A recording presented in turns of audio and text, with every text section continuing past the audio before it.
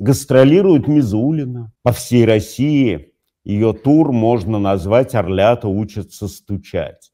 Она показывает, как хорошо быть в России стукачом, стукачихой. Она открывает колоссальные перспективы этой профессии, скрыв, правда, от молодежной аудитории тот факт, что ее собственный взлет, помимо ее иудиных наклонностей, объясняется умением оказаться в главной койке страны.